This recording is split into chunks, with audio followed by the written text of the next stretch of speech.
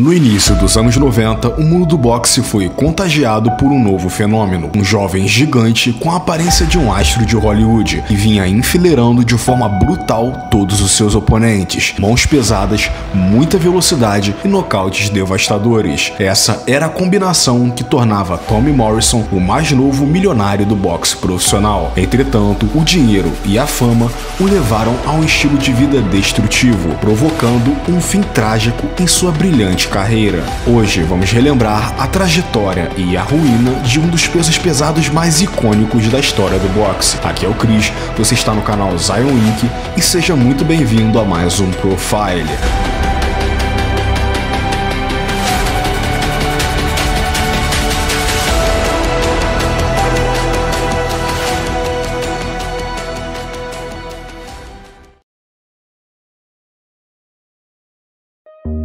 Nascido em 2 de janeiro de 1969, Tommy Morrison cresceu na pequena cidade de Gravitz, no estado do Arkansas. Sua mãe era descendente dos nativos americanos e seu pai, um imigrante irlandês. Com uma genética e tipo físico diferenciado, ele se destacava em todos os esportes que praticava, mas foi no boxe que ele encontrou a sua real vocação. O seu pai também vinha de uma família de boxeadores e o estimulou desde os 12 anos a praticar a modalidade. Aos 15 anos, anos, Morrison já se encontrava em um nível tão alto que já lutava contra adultos e até usava uma identidade falsa para conseguir se inscrever nas competições. Após se formar no colegial, fez mais de 200 lutas como amador e, aos 19, estreava como profissional. Suas seis primeiras lutas não passaram do primeiro round. Foram 12 vitórias seguidas por nocaute. Ali, ele também já demonstrava o golpe que se tornaria a sua assinatura, poderoso cruzado de esquerda.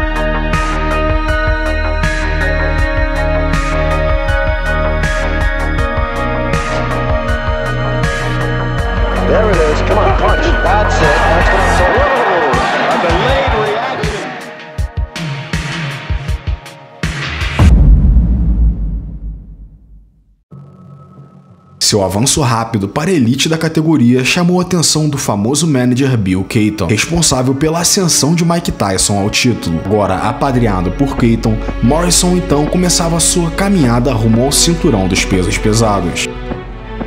Em agosto de 1989, ele destruiria o seu primeiro oponente do circuito sem nenhuma dificuldade. Mike Robinson não foi capaz de aguentar os duros golpes aplicados em sua linha de cintura.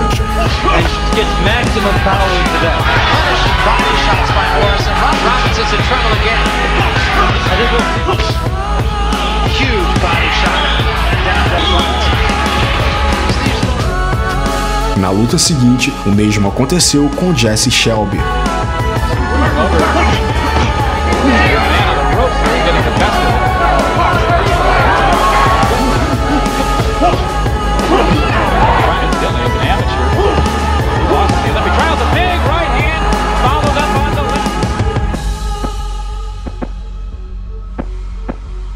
Em setembro, Morrison ficaria diante de Rick Ennis, mais um talento da divisão que vinha de 18 vitórias seguidas. Porém, mais uma vez, ele fez parecer fácil, novamente levava a luta por nocaute no primeiro round.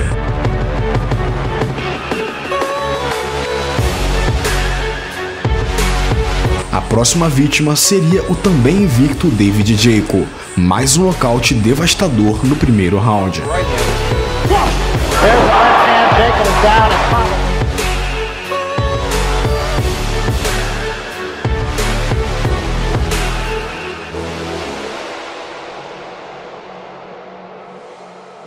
E na última luta do ano, uma performance de gala contra Harry Terrell, mais um nocaute para o seu cartel. Com apenas 20 anos de idade, em seu primeiro ano como profissional, Tommy Morrison emplacava incríveis 17 vitórias, 15 por nocaute.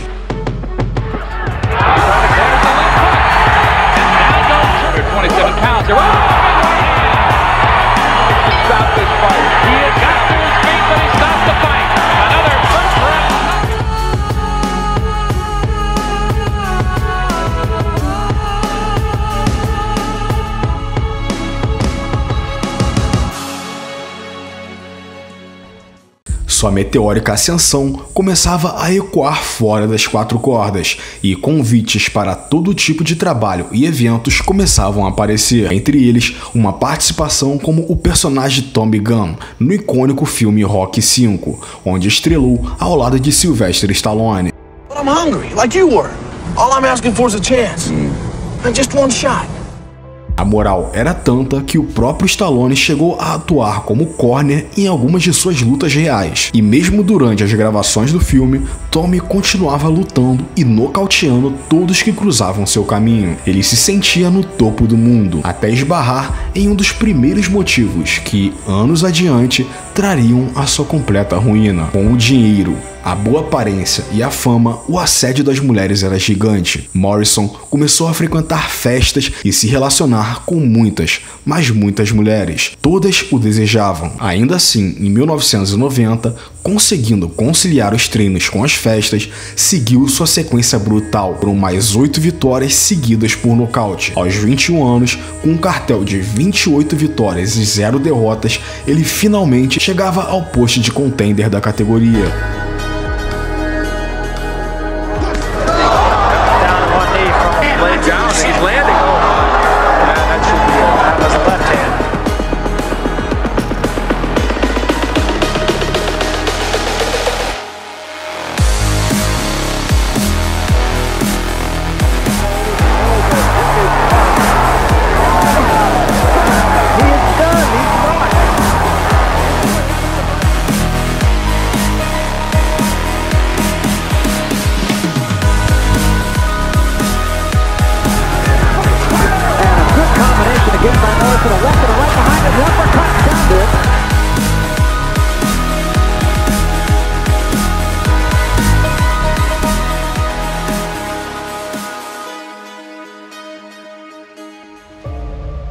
Ficaria diante do campeão invicto Ray Mercer, valendo o cinturão dos pesos pesados. Morrison começou o combate com ampla vantagem e dominou completamente os dois primeiros rounds. O terceiro chegou muito perto de encerrar a luta, aplicando combinações ferozes com 100% de força em cada golpe. Mercer He buzzed Mercer with that because Mercer's holding on to the back of his neck. And there he's using a forearm across the face. And a left hand.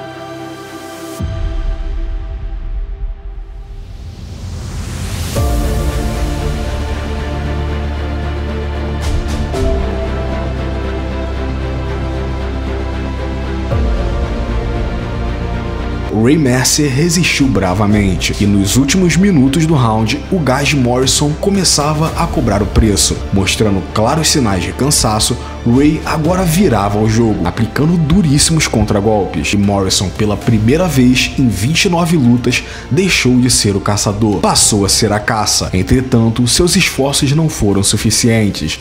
Ray Mercer mostrou o porquê era o campeão. E no quinto round, o público presenciou um dos nocautes mais brutais e emblemáticos da história do boxe. And now Mercer on Morrison in the corner, and Mercer's all over and Morrison in trouble! Goes down for the first time in his career.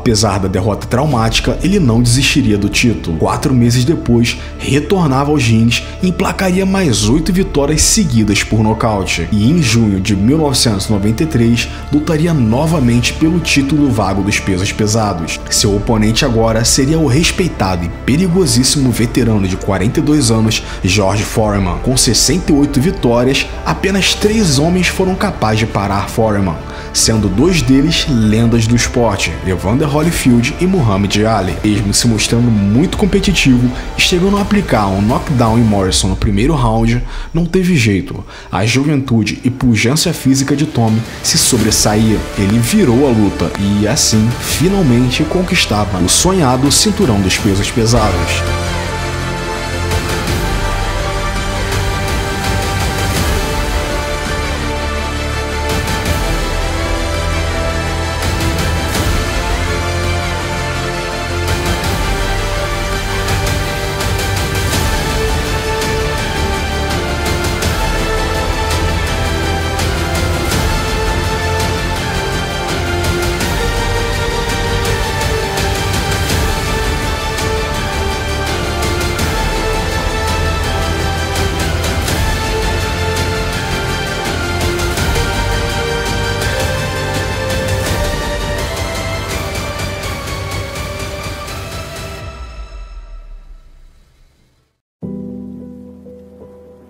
Após o feito, ele estava a um passo de sua luta dos sonhos, uma disputa valendo 8 milhões de dólares contra o também campeão mundial Lennox Lewis. Mas para isso, precisava vencer antes mais uma única luta, que seria contra Michael Bent. Um recorde mais enxuto de 10 vitórias e uma derrota, Bent era considerado a zebra para aquela luta, mas no suar do gongo, ele provaria que o público estava completamente errado. Com ambos partindo para trocação franca, Bent levou a melhor e aplicou três knockdowns em Morrison em menos de dois minutos. A luta foi interrompida conforme a regra. Tommy amargava sua segunda derrota, perdendo a chance milionária contra Lewis na rodada seguinte.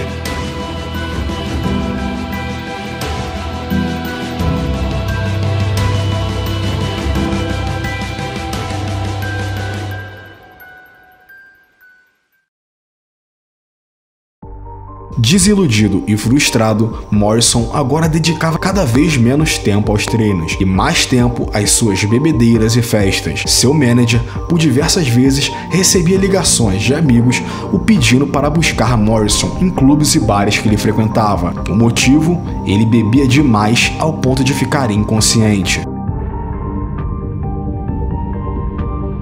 Entre 1994 e 1995, ele continuou lutando, porém com cada vez menos frequência. A propósito, esse foi um período bem controverso em sua carreira. Segundo o seu manager, ele já não aparecia mais na academia e, mesmo sem estar treinando e bebendo cada vez mais, ainda assim acumulou cinco vitórias seguidas por nocaute. A juventude e o talento ainda estavam ao seu lado, mas não por muito tempo.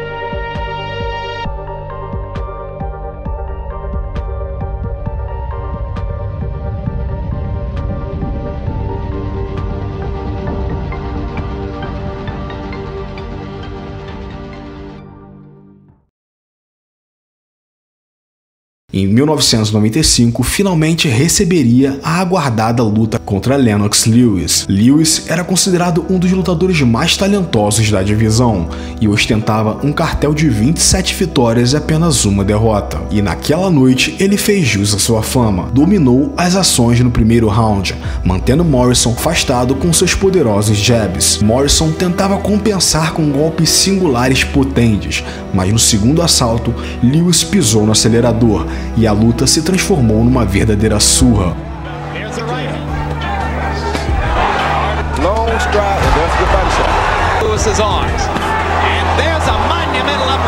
Com o olho cada vez mais inchado, Morrison aos poucos sucumbia aos golpes do ex-campeão e conseguiu resistir até o sexto round, mas após seguidos knockdowns, o árbitro interrompe a luta.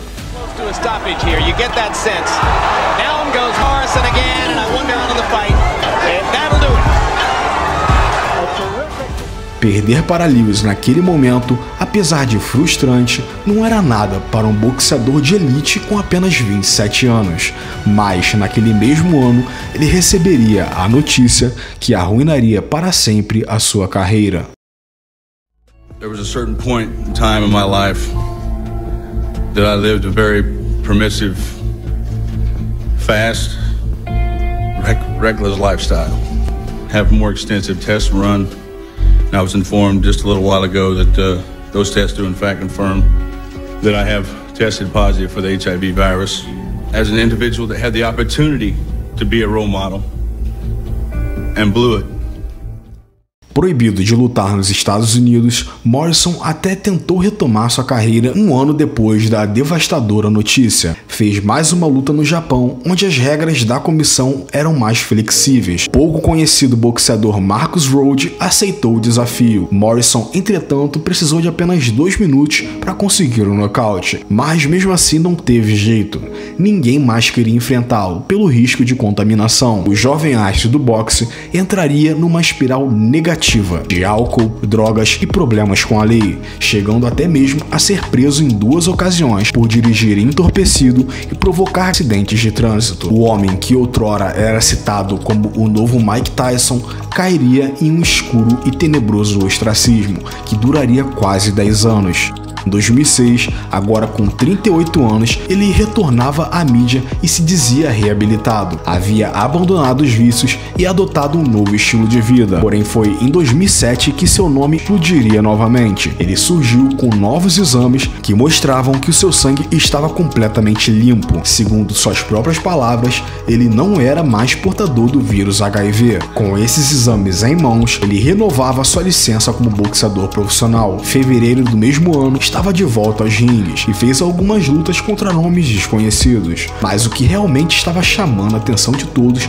era sua aparência deteriorada, onde chegou até mesmo a colocar estranhos implantes em seu peitoral para lhe dar uma aparência mais forte. Mesmo ganhando essas lutas, seu retorno durou pouco tempo. Em 2009, sua saúde piorou drasticamente e ele se aposentava de forma definitiva. Esse fato, aliás, praticamente confirmou a suspeita de muitos médicos e especialistas de que ele poderia ter fraudado aqueles supostos novos exames que indicavam que seu sangue estava limpo. Em seus últimos anos, Morrison já não tinha mais saúde para treinar, se dedicava a uma causa mais importante: apoiar seus dois filhos, que desejavam seguir os seus passos no boxe profissional, restaurando assim sua relação de pai e filho com eles. Em 2013, sua saúde chegava a um ponto crítico e ele já não era mais capaz de se movimentar ou fazer atividades simples. Agora precisava de cuidados 24 horas por dia. Ele acabou falecendo em setembro do mesmo ano, aos 44 anos de idade, devido a uma infecção generalizada. Tommy Morrison foi mais um clássico caso de jovens atletas que tiveram ascensões meteóricas e não souberam lidar com os deslumbres e a fama. Mas e você? Conhecia essa impactante impactante história? Deixe aqui nos comentários. Se você curtiu esse vídeo, não deixe de assistir mais dois episódios da saga Profile, que vão estar nos cards ao lado. Eu vou ficando por aqui, um grande abraço a todos e até o próximo vídeo.